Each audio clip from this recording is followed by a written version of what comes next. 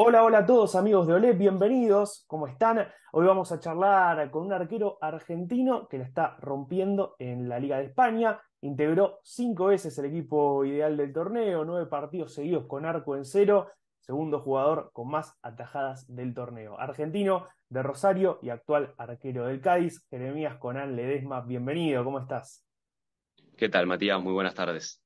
Un gusto. Bueno, bienvenido. La idea, como te estuve comentando, es eh, charlar un poco sobre estos récords ¿no? que, mencioné antes. ¿Cómo estás viviendo este presente con estos, con estos números eh, en el Cádiz, en el equipo ahí de, España? La verdad es que, muy contento. Eh, el día que me salió la oportunidad de poder venir acá a Europa, eh, siempre dije que, le iba a aceptar de una manera muy especial, ya que quería medirme contra los mejores. Eh, siento yo que el fútbol europeo eh, está a un nivel un poco más arriba de, lo que es el del continente América. Entonces era una experiencia muy linda para mí y ver los datos, los resultados que estoy obteniendo en estos momentos me, me hace sentir muy feliz. Hablabas de datos y, bueno, te menciono una estadística que también este, salió hace poco, 31 partidos en arco en cero eh, con, en, en, 94 partidos, ¿no? Eh, la verdad es, un dato este, que para vos debe ser inspirador también a la hora de hacer un balance. ¿Sos de pensar en los números generalmente o vas partido a partido? Voy partido a partido, eh, obviamente lo sé a los números, sé que es algo, un, récord acá en, en, el club, en Cádiz, eh, así que eso me pone muy contento porque quiere decir que, que, estoy haciendo las cosas bien, que voy en buen camino, no solo yo, sino que el equipo también es parte, eh, obviamente el arquero por ahí de manera directa, pero el equipo también influye un montón, la defensa, los volantes y los delanteros también somos... Eh, los defensores de, de, de cada sector de, del campo. Entonces, eh, quiere decir que no solamente yo estoy haciendo muy bien las cosas, sino que, que el equipo en conjunto está haciendo, está haciendo bien las cosas para que ese logro se, se haya dado. Así que la verdad es que voy partido a partido, pero con un conocimiento de, de las estadísticas también, porque son importantes saberlas. Y también debe ser una, una gran motivación, ¿no? Para, para seguir adelante ayudando al equipo. Tal cual, eh, como te dije antes, marca una línea, que quiere decir que uno está haciendo bien las cosas. Entonces, es seguir en esta, en esta misma línea e ir ajustando detalles para, para poder seguir superándome día tras día o torneo tras torneo. Tal cual. Bueno, hablabas del equipo, vamos a, meternos de lleno entonces en, el Cádiz, porque arrancaron el torneo con el objetivo de, de huirle a los puestos de descenso y en este momento, ya en la fecha 24, de a poco se están metiendo en la mitad de tabla. ¿Qué análisis haces del torneo de, del equipo hasta el momento? Eh, bueno, fueron el primer año, temporada 2021 o 21-22, no, 2021, eh, pudimos salvarnos del descenso tres fechas, cuatro fechas antes del final. El torneo pasado sufrimos hasta la última fecha, eh, digo yo que hasta los últimos 15 minutos, que fue cuando convertimos el gol nosotros y, y gracias a Dios el Granada erra un penal. Eh, y esta temporada nuestro objetivo era no sufrir tanto. La verdad es que no arrancamos bien, tuvimos cinco derrotas consecutivas que nos pegaron muchísimo y nos costó muchísimo levantarnos de eso. Pero como realmente sabemos que somos un equipo duro, que está acostumbrado por ahí a estar peleando un poquito abajo, por una cuestión de presupuesto, porque acá hay clubes que son muy grandes y que tienen la posibilidad de fichar jugadores muy, muy importantes a nivel mundial, pero sabíamos que, y sabemos obviamente, que la, que la lucha y, el sacrificio nosotros tiene que ser siempre al 100%. Entonces, fíjate que Creo que es la segunda vez que salimos del descenso desde que arrancó el torneo y la verdad es que estamos tranquilos porque sabíamos que iba a ser así y que había que transitarlo y que hay que transitarlo porque todavía queda. Pero estamos abocados a seguir sufriendo y a seguir luchando como lo hicimos lo, los dos primeros torneos que el Cádiz estaba en primera. Todavía queda de torneo, vos lo mencionabas, y, bastante, ¿no? 14 fechas para el final de la liga están trepando en la tabla, se están metiendo en, la mitad de, la tabla de posiciones, todavía no se pierde la esperanza de quizás aspirar a los primeros puestos, al pelotón de arriba y, ¿por qué no?, a una zona de clasificación a Copa. es muy difícil alcanzar los primeros puestos, eh, viendo la cantidad de puntos que tienen y los equipos, eh, los nombres que tienen, ¿no? Pero, pero sí soñamos de estar en mitad de tabla un poquitito para arriba, puesto 10, puesto 9, puesto 8. Eh, también va a ser difícil entrar a una copa porque tenés equipos muy grandes que están peleando por ella, Bilbao, Betis, Rayo, que son equipos que, están con un colchón de puntos que pueden mirar tranquilamente para arriba. Nosotros hoy estamos mirando un poco para abajo y mitad de tabla, que se nos den resultados. Estamos eh, fuera del descenso, pero estamos todos muy apretados. Hay muchos equipos con 26, con 27 y con 28 y con menos también, que una derrota y un triunfo de ello cambia totalmente la ecuación y el panorama de, de la tabla. Estamos todos muy apretados con diferencia de un punto o dos puntos que es solamente un partido. Entonces, por lo pronto, estamos con los pies sobre la tierra, mirando dónde estamos, mirando nuestro, nuestro alrededor y apostando solamente a eso. Eh, después, si las últimas fechas nos quedan margen para mirar un poquito más para arriba, seguramente lo haremos. Volviendo a, tu rendimiento personal y haciendo un balance de toda tu trayectoria, desde que arrancaste con Rosario Central, eh, coronaste con, tu club, con la Copa Argentina, después te emigraste, te fuiste a España y estás teniendo este, un gran rendimiento siendo el segundo arquero con más eh, atajadas del torneo. ¿Es uno de los mejores momentos de, tu carrera haciendo un balance general de todo lo que viviste hasta ahora? Eh, bueno, si hago un balance, sí, obviamente es un gran momento, es un momento muy importante. Igualmente no cambio ningún momento con salir campeón. Eh, o sea, levantar una copa como deportista es lo, más lindo que te puede pasar. O sea, a mí eh, cuando levanté esa copa con Central en 2018, eh, yo creo que no va a haber una felicidad que, la pueda comparar con eso a nivel deportivo. obviamente este momento me agarra a mí ya como un jugador, un arquero, digamos, en este caso, con, consolidado, con otro tipo de madurez, otro tipo de liga y este rendimiento que se sostenga en el tiempo a mí me hace pensar que estoy en, un muy buen momento. No sé si el mejor, pero sí en un muy buen momento y sé que todavía lo puedo mejorar aún más. Tal cual. Este, ¿Sos de, pensar en el futuro, quizás proyectar tu carrera en, otra liga de, de, Europa o preferís también en ese sentido mantenerte día a día? No, en ese sentido prefiero mantenerme en el día a día porque las ilusiones muchas veces, cuando después no se dan, golpean fuerte a la cabeza. Y si el jugador no se encuentra fuerte y más el arquero mm, eh, de, a nivel psicológico, afecta mucho al rendimiento. Entonces, eh, yo hoy pienso en el, en el día a día, en estar bien con, con Cádiz, salvarnos del descenso, si Dios quiere, de manera no tan agónica como fue el año, el año pasado eh, y disfrutar. Después, lo que venga, vendrá, eh, dependiendo del rendimiento de uno o dependiendo de las exigencias de lo que estén buscando los otros clubes. Pero por lo pronto, uno está con la cabeza acá. Recién mencionaste que nada se compara con la obtención de una copa y como de argentino a argentino, tengo que preguntarte cómo viviste la obtención de la Copa del Mundo. Con muchísima alegría, como cualquier argentino. Eh, más estando afuera, que la vi con mi familia, la vi con amigos argentinos, la festejé como cualquier hincha eh, de nuestro país, de nuestra camiseta, por el amor a nuestra patria. Eh, hablaba con, con, mi mujer y le decía, ¿sabes lo que daría por estar en Argentina ahora y poder ver el partido con mi papá, con mi hermano, con mi hermana, con mi familia, con mis seres queridos y poder festejar con ellos?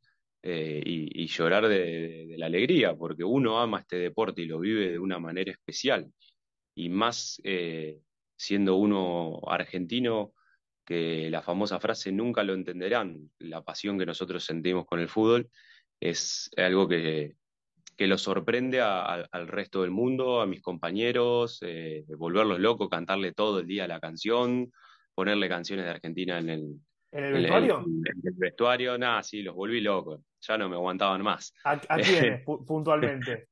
A, todos, a todos, a todos, a todos, porque la verdad que los volví locos a todos. Era poner la, la, canción de, a, 200 por horas y cantar y, bueno, y, disfrutarnos. Tengo un, compañero que era que es, perdón, eh, brasilero y lo, lo, lo volví loco, él también me cargaba, mis compañeros españoles, así que se disfrutó un montón y gracias a Dios se coronó y se vivió como se tenía que vivir, con mucha alegría y festejo. Imagino también eh, algunos sentimientos encontrados con esta selección porque en el año 2020 tuviste la posibilidad de ser este, convocado, ¿no? Compartir con algunos de los jugadores, sin embargo, no es el plantel exacto que salió campeón del mundo, pero estuviste, formaste parte de este ciclo en cierto punto. Sí, bueno, fui a esa citación, eh, fui por la desgracia de un colega que fue Juan Muso, que tuvo esa lesión, eh, pero bueno, no, no me puedo hacer parte de algo que no lo fui, fui solamente una citación, obviamente que mi alegría en ese momento era, era máxima y, y lo disfruté y, y, lo disfruto en el recuerdo de ahora y uno siempre sueña que algún día pueda llegar a a tocar alguna otra citación si sigue haciendo las cosas eh, bien. Así que, eh, pero no, no me sentí parte en lo, en lo absoluto. Lo viví como un hincha 100% porque eh, soy sincero, yo no fui parte de absolutamente nada por haber estado una, una citación. ¿Qué recuerdos te quedan, por lo menos, de, de, ese, de esa pequeña citación que tuviste? Haber compartido con, con todos los, los jugadores que, que en su mayoría son campeones del mundo hoy, poder haber entrenado con ellos, haber hecho un reducido, un peloteo, haber viajado con ellos, saber lo que es eh, la selección detrás de lo que se ve en las cámaras, un, vestuario.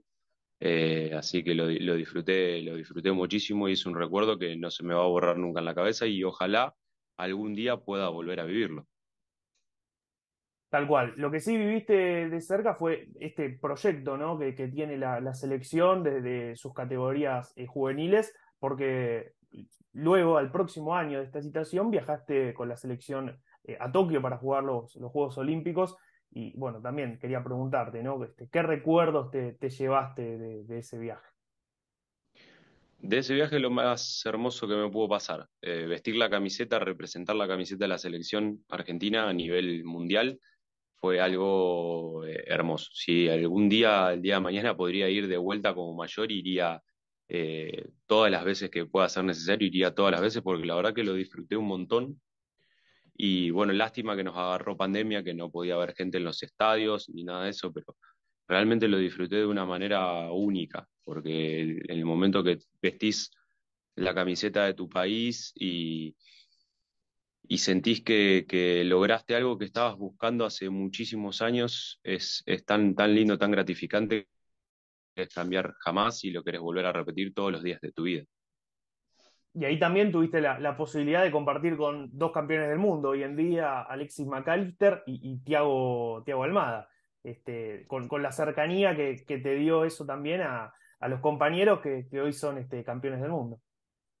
Sí, tal cual. Y la verdad es que me pone muy contento por ello porque lo, los vi entrenar eh, durante un mes y, largo y los pude disfrutar. Y la verdad que vi la calidad de jugadores que son y personas y lo tienen muy merecidos. También he compartido plantel con, con Nahuel Molina en Rosario Central. Eh, de hecho, lo he enfrentado también varias veces acá con, contra el Atlético de Madrid y se lo he dicho, la verdad que me pone tan contento que, hayas logrado lo que lograste porque es realmente único, es realmente único salir campeón del mundo, muy pocos jugadores lo pueden decir y a mí me pone muy contento por ello porque los conozco y sé qué clase de jugadores son y qué clase de personas también. Ya te tuvo en cuenta Scaloni, vos lo dijiste, fue por, por la desgracia de, la lesión de, Juan Muso, pero bueno, con el rendimiento que, estás teniendo en Cádiz, imagino que también ilusiona por si se llega a presentar la oportunidad ¿no? de, una nueva citación. Sí, claramente, como te dije antes, eh, uno tiene que hacer las cosas de la mejor manera posible. Si uno hace lo que hace de la mejor manera posible, ya después no depende de uno. Eh, uno se puede quedar tranquilo que dejó el alma intentándolo que no siempre se puede dar, eso hay que ser realistas, eh, hay que saber que también hay un proceso, hay arqueros que ya están en el proceso y hay muy grandes arqueros que, que también están compitiendo a tu mismo nivel y que pueden ser citados y pueden ser preferidos antes que uno por un estilo distinto o por el estilo distinto que busca el entrenador o lo que fuera. Entonces uno tiene que saber aceptar eh, también el no ser citado, por más que tenga muy buenos datos o por más que tenga muy buenas estadísticas, tiene que saber que, el momento llegará y si no llega, porque no era. Y nada más. Después eso no, no tiene que trabarte en lo que sigue siendo tu carrera como deportista en cada club, porque se puede hacer un, una gran carrera deportiva sin haber vestido la camiseta celeste y blanca o sin haber sido citado. Para cerrar ya me gustaría que le dejes unas palabras al Dibu, ¿no? Tenemos el mejor arquero del mundo, que Conan le deje unas palabras de, arquero a arquero, ya hablándole como, como colega. ¿Qué le puedo decir yo al Dibu? Eh, la verdad que me pone muy contento, lo tiene, lo tiene más que merecido. Eh, él se fue muy chico, de, de Mar del Plata, de su casa, independiente, después viajó a Inglaterra, eh, estuvo jugando acá en España, fue encontrando su lugar, se fue ganando su respeto y todo esa base de trabajo. Eh, entonces, cuando esa base de trabajo y de sacrificio eh, nos pone, a mí me pone muy contento y me pone muy orgulloso. Eh, cuando el Dibu hace esa tajada contra Australia, esa última tajada contra Australia, hice una publicación y puse, muchas veces nuestro puesto es el menos valorado. ¿por qué? Porque agarramos la pelota con la mano y porque no tiramos caños y no hacemos la gambeta linda que, que es la que festeja a todo el mundo. Pero esas atajadas muchas veces son las que ganan partidos. Entonces, eh, a mí me demostró, y creo que no solo a mí, sino que a un montón de gente más, eh, que el puesto del arquero es muy importante en el fútbol, que tiene que ser más valorado. Y eso lo demostró él, y la verdad que me pone muy contento por él, porque se llevó el premio más grande, que era levantar una Copa del Mundo, que era seguramente lo que estaba buscando, lo que estaba anhelando, y a su vez de, haber salido campeón del mundo, se llevó el premio del mejor. Muchísimas gracias, Conan, por, por atendernos, por hablar con, con el diario Le y por eh, compartirnos un poquitito tus, tus sentimientos de, de este presente, de tu presente personal, del presente del Cádiz. Y bueno, te felicito y que sigan los éxitos nomás. Y ojalá que se puedan asentar en mitad de tabla, que imagino que es lo que más querés vos y lo que más quiere el equipo. Bueno, Matías, muchísimas gracias a vos por el espacio y tal cual vos decís, ojalá en cuatro o cinco fechas estemos muchísimo más tranquilos, holgados y podamos disfrutar un poco más de la situación y sufrir un poquito menos. Que te mando un abrazo grande.